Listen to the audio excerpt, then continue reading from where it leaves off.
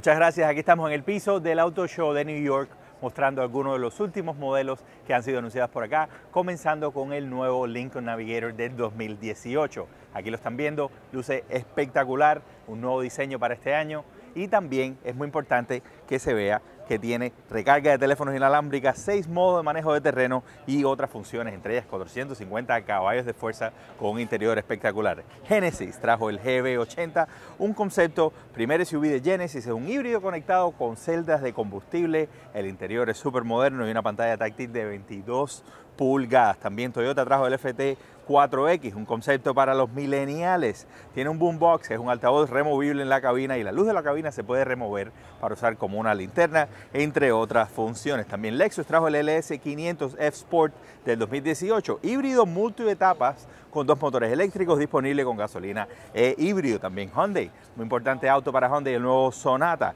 exterior e interior rediseñado para este año, pantalla central táctil de 7 pulgadas, recarga de teléfonos inalámbrica y detección de puntos ciegos entre otras funciones de seguridad. También Jaguar trajo el F-Type del 2018 400 Sport, una edición especial completamente nueva que se va a fabricar solamente por un año, 400 caballos de fuerza y con un interior increíblemente rediseñado. Ariel Coro se despide desde el Auto Show de New York.